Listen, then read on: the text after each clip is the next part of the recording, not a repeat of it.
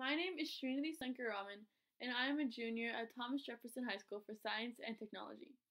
My project was on the determination of the firefly luciferase mRNA concentration and encapsulation efficiency in nanoparticles using a ribogreen assay.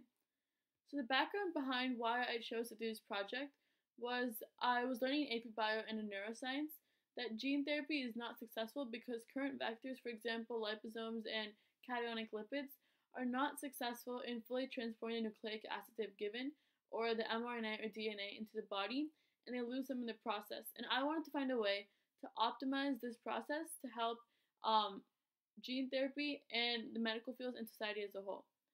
So I actually conducted this research at an ASIP program or summer internship program at George Mason University in the bioengineering department under Dr. Bushman.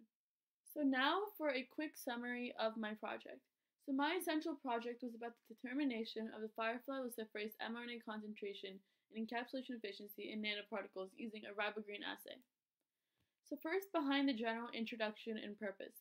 So gene therapy currently is a process in which bad genes or negative genes that aren't functioning properly are removed and functioning genes are replaced.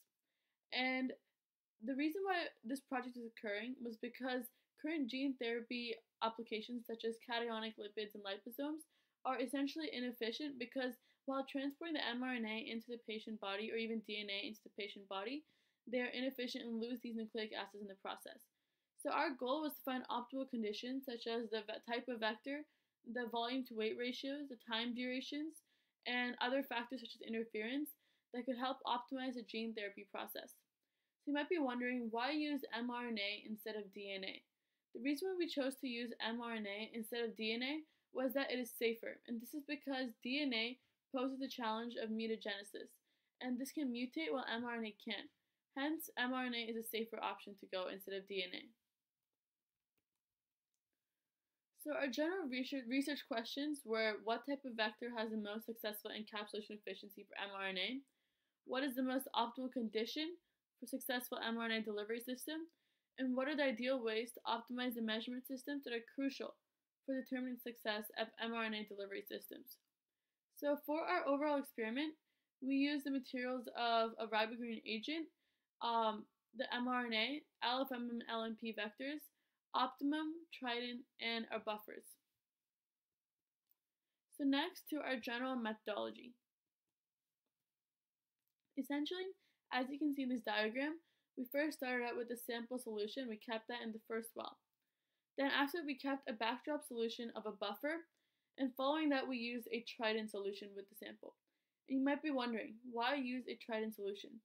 The reason we used a trident solution was because it broke apart the sample cells. And when it broke apart these sample cells, the mRNA inside it came out. When we put ribogreen, whatever it intercalated to or binded to was what fluoresced and this allowed us to calculate the total encapsulated MR, the total mRNA concentrations because whatever the ribogreen was able to bind to was what was the mRNA after the cells had been cleaved.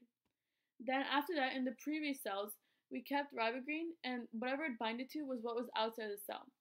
Therefore, by subtracting these two measurements, we were able to find how much of the mRNA was encapsulated and the total encapsulation efficiencies. So now that we've gone over our basic methodology, we're going to go to our results. So for our first result, we looked at the success of different volume to weight ratios, and we saw that specifically in an LFMM vector, a 50 nanogram to 50 microliter ratio was the most optimal and actually significantly improved the encapsulation efficiency.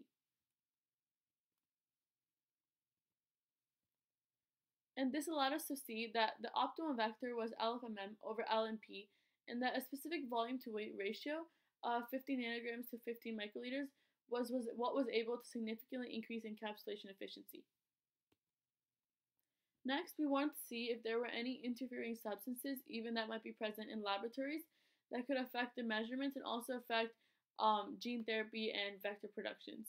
And we saw that two major interferents were Trident and Optimum, and when these two substances are removed, the encapsulation efficiency significantly increased by around 25%.